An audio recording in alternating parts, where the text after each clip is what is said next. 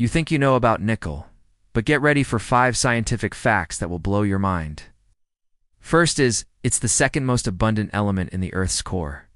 Nickel, along with iron, makes up the core of our planet and helps generate its magnetic field. Second is it's the most common metal that people are allergic to. That itchy rash you get from a belt buckle or cheap jewelry is most likely a nickel allergy.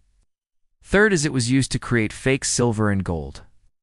Due to its corrosion resistance and silvery luster, nickel alloys were used for centuries to mimic more expensive metals.